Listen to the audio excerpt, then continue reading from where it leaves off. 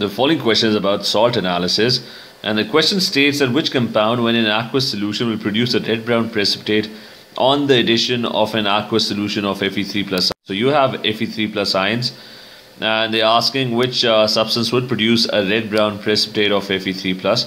So for this, you would need to consult uh, the test for cations, in which uh, the test for Fe3 plus ions is given.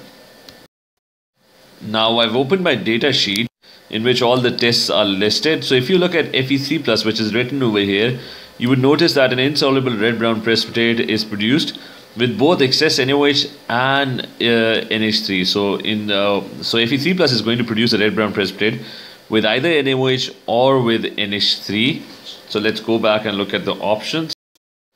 So if you look at all the options, uh, there's HCl, sodium chloride, which is NaCl, and this over here is sodium hydroxide. So sodium hydroxide is going to produce uh, a red brown precipitate and what's going to happen is uh, I'm also going to go into a little bit more detail. When you add NaOH, uh, and NaOH is soluble. So NaOH, when in its when it is in aqueous state, what happens is, so let me draw a beaker. What happens when NaOH is in aqueous state is that it dissociates. So it dissociates into sodium ions and OH ions and they're all roaming around in the solution in aqueous state. And if you add Fe3 plus, so if you add Fe3 plus ions and they are also in aqueous state, these Fe3 plus ions when they combine with, uh, so they're going to randomly combine with each other. So if these Fe3 plus ions they combine with OH minus one, they would end up forming, they end up forming as an insoluble precipitate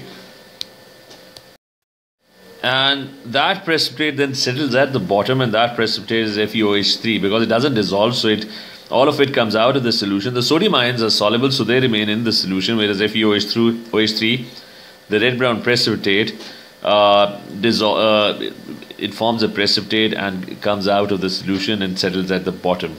Hence uh, option C is the correct option for this question